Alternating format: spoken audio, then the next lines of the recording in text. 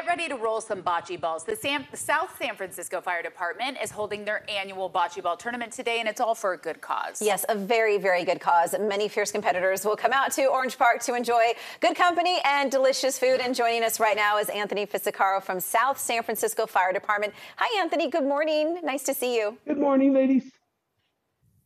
Thanks for being here this morning. Okay, so tell us a little bit about what's happening out there. Tell us about the tournament.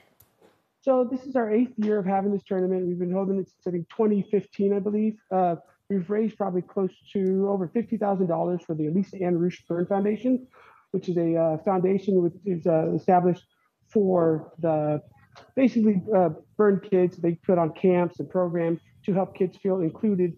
And basically, they're not by themselves. They're they're kind of they're out there. They're, they're normal.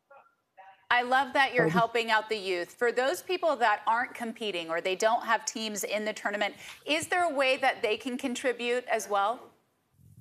So uh, we have donate. So way we get sponsors, we have sponsorships to sponsor the courts. We have people donating raffle prizes. Uh, a lot of our stuff is donated. Uh, people just do random donations, just uh, out of out of kind of in kind donations. Um, also, we're serving food, and uh, we have some food. We have some uh, shirts we're selling too. so that's the biggest thing we're doing with this. Uh, that's where we make more money on this one to provide to the Burn Foundation.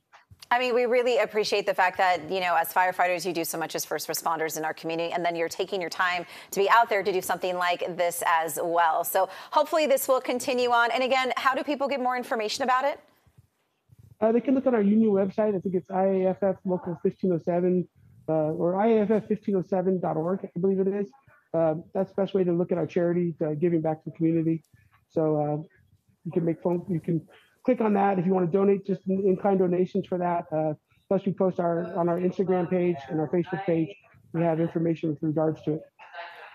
Anthony, the bocce ball courts are simply stunning. Is that something that you guys help take care of for this event, or is there a host facility that offers it up to you?